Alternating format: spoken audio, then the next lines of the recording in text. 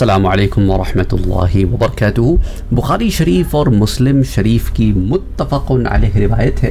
बुखारी शरीफ में हदीस 4850 है, जिसमें हज़रत अबू हुरैरा रज़ी अल्लाह अन्हु बयान करते हैं कि हुजूर सल्लल्लाहु अलैहि वसल्लम ने फरमाया कि जन्नत और दोज़ख ने मुबाहिसा किया।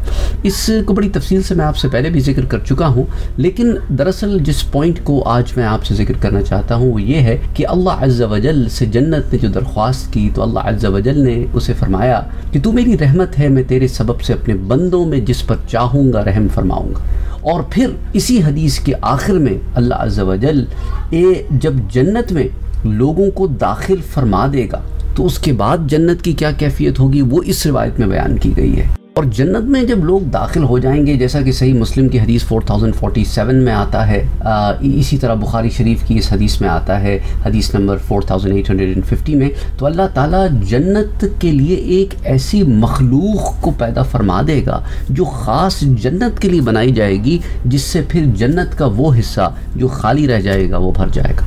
वो मखलूक एक ऐसी मखलूक है जो दुनिया में नहीं भेजी गई लेकिन जन्नत को भरने के लिए उस मखलूक की तख्लीक की जाएगी। अब वो मखलूक कैसी होगी? वो मखलूक जो है वो इंसानों जैसी होगी, नहीं होगी? इसका इल्म हमारे पास नहीं है। हदीस मुबारक के ज़ाहिर से तो हमें यही पता चलता है कि वो मखलूक पैदा की जाएगी।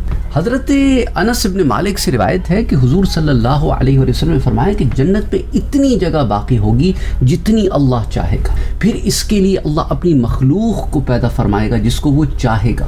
और दूसरी रिवायत में इस तरह है कि अल्लाह ताला जन्नत में अपने अब फजल से एक मखलूक को पैदा फरमाएगा।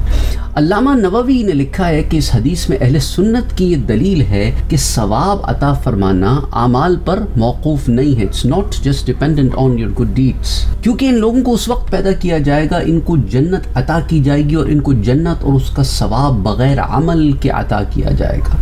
और इसी की मिसाल वो नाबालिग बच्चा भी है जो मुसलमानों में से हो या गैर मुस्लिमों की औलाद में से हो, वो नाबालिग है, उस पर से कलम उठा लिया जाता है, इसलिए वो जन्नत में दाखिल किया जाएगा।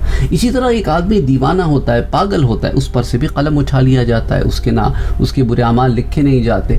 तो उन्होंने कोई नेक अमल किया भी नहीं होता, लेकिन क्योंकि उनके पास बुरा अमल भी कोई नहीं होता। तो इसीलिए वो भी अल्लाह के फजल से, अल्लाह की रहमत से जन्नत में होंगे। और इस हदीस में जन्नत की वसात पर भी दलील है, क्योंकि सही अहदीस में है कि एक जन्नती शख्स को दुनिया की दस गुना नेमतें दे दी जाएँगी।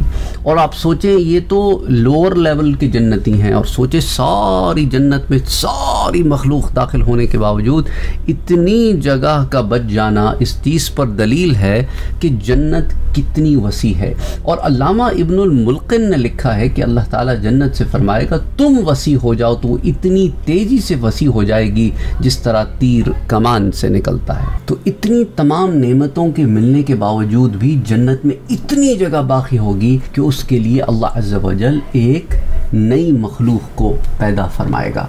और इसकी तफसीलात जो है फिर अल्लामा याहिया बिन शरफ नववी अलैह ने शरह मुस्लिम की जिल्द दो, सफ़ा नंबर 382 पर लिखी है। तो बहरहाल एक सवाल भी आया था तो इसलिए इसको यहाँ पे एड्रेस यूँ भी किया गया। और अगेन यू नो बहुत सारे लोग जो है जब इन हदीस मुबारक से गुजरते हैं तो वो उनके जहनों में सवाल पैदा होता है, क्यों एंड क्या एंड वाई एंड वाट कि कौन लोग होंगे, कहाँ से आएँगे? अगेन जिस चीज़ को अल्लाह ने हमें नहीं बयान फरमाया, उसकी तफसीलात भी हमारे पास नहीं है, हमें सिर्फ़ इतना पता है कि वो एक नई मखलूक होगी। जो इंसानों में से नहीं होगी, वो दुनिया में कभी नहीं आए होंगे। वो नए तौर पे पैदा किए जाएँगे। Right from the beginning they will be created for the heaven and they will be created right there and then वहीं पैदा होंगे। और इसकी तफसीलात हमारे लिए छुपी हुई हैं। तो बार बार मैं इस बात को इसलिए बताता हूँ क्योंकि मेरे पास ऐसे बहुत सारे लोगों के सवाल आते हैं जो बाल की खाल निकालना चाहते हैं और एक एक को जवाब देने के बावजूद अब होता क्या है, वो सवाल में से सवाल निकालते हैं और क्यों और क्या और कैसे।